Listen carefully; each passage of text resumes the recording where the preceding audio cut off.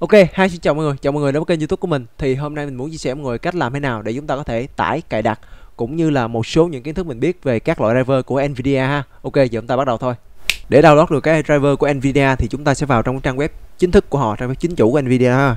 Nvidia.com Đây. Rồi thì chúng ta sẽ tìm đến cái mục driver ở bên góc phải màn hình đây. Góc trên bên phải màn hình. Chúng ta click vào driver. Thì nó sẽ hiện ra cái mục là Nvidia driver download thì mọi người sẽ có những cái dòng đây 1 2 3 4 5 6 thì mình sẽ đi qua từng dòng mà mình nói từng cái luôn ha.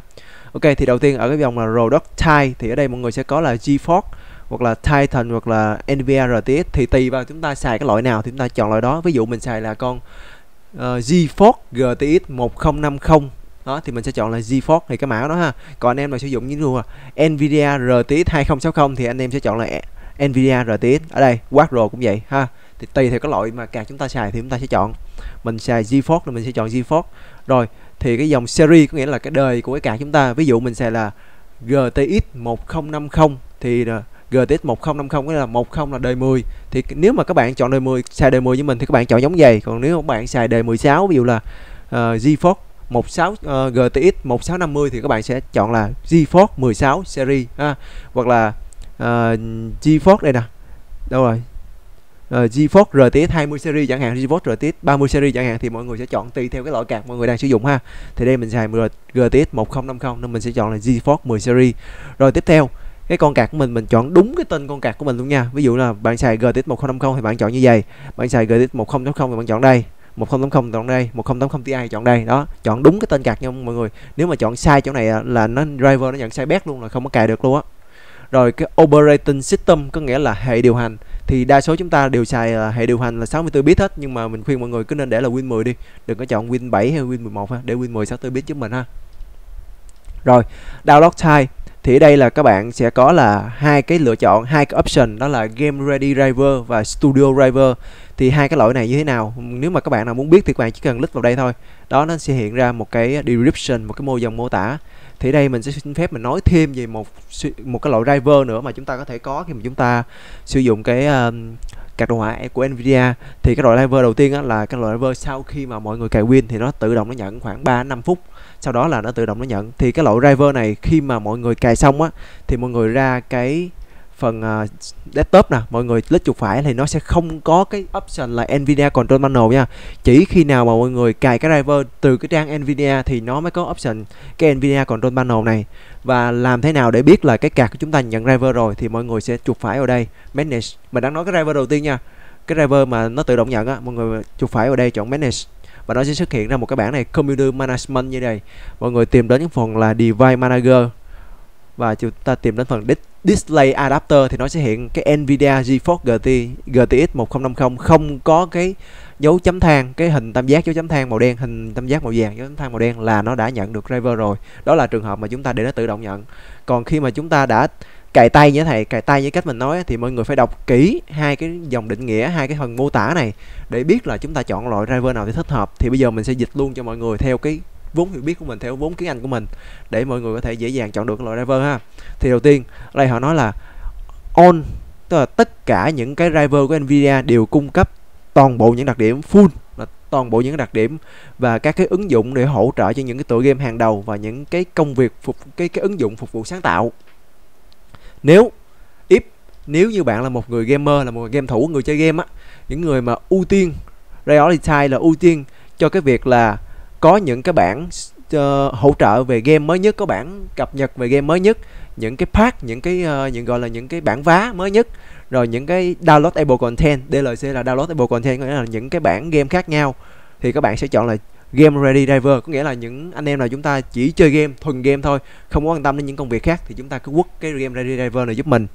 Còn nếu anh em nào mà là content creator có nghĩa là người sáng tạo nội dung những cái người mà ưu tiên cái tính ổn định và cái chất lượng cho công việc sáng tạo bao gồm video editing có nghĩa là biên tập video nè animation là làm về hình uh, hiệu ứng rồi uh, photography là làm về hình ảnh nghĩa là mấy mấy mấy người mà anh em photo mà họ chỉnh màu đó. Graphic design thiết kế đồ họa live streaming thì các bạn phải chọn là studio driver ha đó, anh em mà làm thiên về cái mảng này hơn, về cái mảng content creator thì phải chọn là studio driver, ha. Thì đó, mình mình thì mình sẽ chọn là game ready driver, tại vì mình vẫn là người chơi game là chủ yếu, thì mình sẽ chọn là game ready driver, ha. Ok, rồi. Ở đây, xong, game ready driver. Thì language mọi người để mặc định luôn là US luôn, đừng đừng đừng có đổi qua mấy cái khác nha, đổi mấy cái khác là mình không có biết đâu, mình cứ để language là English US thôi. Rồi chúng ta bấm search một phát đây thì nó sẽ hiện ra một cái bảng là GeForce Game Ready Driver. Mọi người chú ý dòng này nha. GeForce Game Ready Driver là đúng cái loại driver chúng ta đã chọn lúc nãy chứ nó nó nói là uh, Studio Driver là mọi người phải phải bắt lại mọi người chọn lại để đao cho đúng nha. Rồi ở đây nó thể hiện là cái version là phiên bản nè. Rồi cái ngày mà nó cái ngày này cái driver này được ra mắt nè. Rồi hỗ trợ hệ điều hành nè. Rồi là ngôn ngữ nè.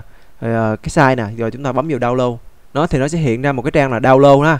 Rồi chúng ta cứ cái này không cần đọc đâu. Mọi người cứ bấm vào download giúp mình luôn thì nó sẽ hiện ra một cái trang đường dẫn chúng ta sẽ chọn. Ví dụ mình luôn vào desktop đi cho dễ. Nó desktop.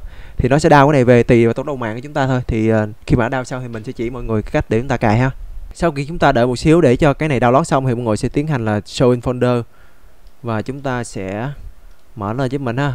Mọi người nhớ là chọn chạy quyền admin nha. Run administrator.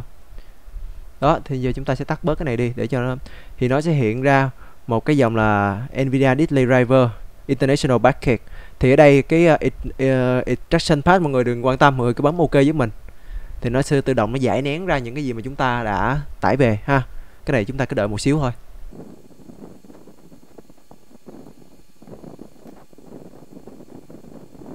Rồi ở bước này á khi mà nó đã tới hiện cái bản mà Nvidia Installer này, mọi người sẽ đợi một xíu để nó chạy cái phần mềm check ha.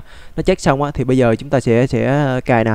Ví dụ như anh em nào mà chưa có GeForce Experience á, thì mọi người tích vào đây, mọi người chọn là Nvidia Driver and GeForce Experience còn bạn nào đã có GeForce Experience rồi thì mọi người chỉ tích vào Nvidia Driver thôi, ha. Người bấm chữ agree and continue giúp mình rồi ở đây mình khuyên mọi người nên chọn là express recommend đừng có chọn một custom. Custom nghĩa là chúng ta tự chúng ta uh, custom tự chúng ta theo ý chúng ta muốn cài phần nào muốn cài không cài phần nào á. Còn này mình chọn express là để tự nó phần mềm nó nhận diện luôn ha. Người bấm next giúp mình. Thì ở đây nó sẽ uh, nó sẽ ready for re repairing for Inton. Thì quá trình này nó diễn ra là cũng khá là lâu khoảng 5 đến 10 phút tùy theo cái máy chúng ta.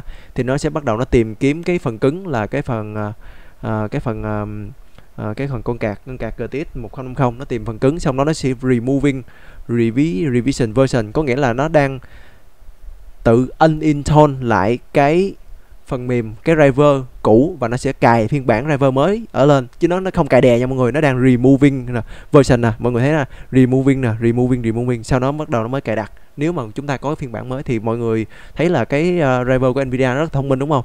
Thì mọi người sẽ chờ cái quá trình này diễn ra tầm 5 đến 10 phút sau đó chúng ta sẽ tới bước tiếp theo ha.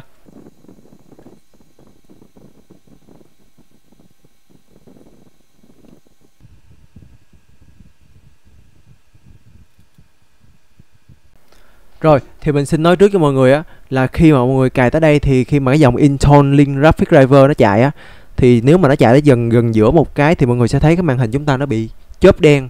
Chớp đen khoảng nó delay khoảng một hai giây sau đó nó trở lại bình thường thì mọi người cũng đừng có quản nha tại vì lúc đó là cái con cạc chúng ta đang nhận cái driver á, thì nó sẽ tự động nó chớp đen một cái rồi nó bung ra là bình thường ha. Còn ti ti ti máy thì có máy nó sẽ chớp có máy nó không chớp thì bây giờ mình đang sử dụng điện thoại mình quay lại.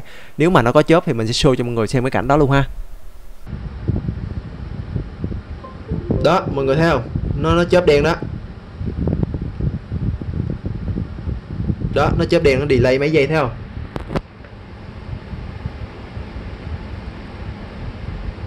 Đó.